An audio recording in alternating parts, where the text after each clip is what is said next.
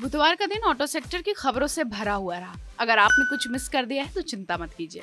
हम आपके लिए लाए हैं ऑटोमोबाइल इंडस्ट्री से जुड़ी बड़ी खबरें। देश की सबसे बड़ी वाहन निर्माता कंपनी टाटा मोटर्स ने आज अपनी मशहूर हैचबैक कार अल्ट्रोस के नए आई टर्बो वेरिएंट को पेश किया है।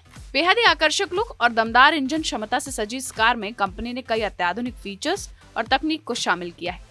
फ़िलहाल इस कार को केवल प्रदर्शित मात्र किया है। इसकी बुकिंग आज से, यानी कि 14 जनवरी से शुरू हो रही है। सालों के लंबे इंतज़ार और अटकलों के बाद टेस्ला के सीईओ एलन मस्क ने आखिरकार टेस्ला को बैंगलोर में कंपनी के रूप में रजिस्टर करके इंडिया में एंट्री कर ली है। कंपनी रजिस्ट्रार वेबसाइट पर उपलब्ध विवरण के अनुसार Tesla India Motors and Energy private limited को शामिल किया गया है और पंजीकृत पता लावेल रोड बेंगलुरु में है। इस साल का सबसे बड़ा electronic show C S two इस समय सुर्खियों में। है ये शो 11 जनवरी से शुरू हो चुका है और 14 जनवरी यानी कि आज तक चलेगा।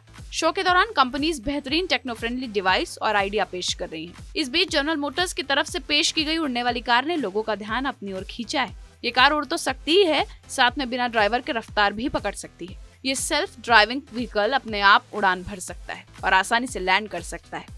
इस कार की सबसे खास बात यह है कि इसके ज़रिए ट्रैफ़िक जाम की समस्या से बचा जा सकता है। ये कार आपको सड़कों के ऊपर हवाई सैर कराएगी। तो ये थी ऑटो सेक्टर से जुड़ी कुछ बड़ी खबरें। आपको कैसा लगा हमारा वीडियो में कमेंट सेक्शन में बताएँ। बाकी देश और दुनिया से जुड़ी तमाम खबरों के लिए सब्सक्राइब करें हमारा digital channel TV nine Bharatvarsh. You स्टॉप नाइन रोज सुबह सात बजे और शाम सात बजे सिर्फ़ टीवी नाइन भारतवर्ष पर।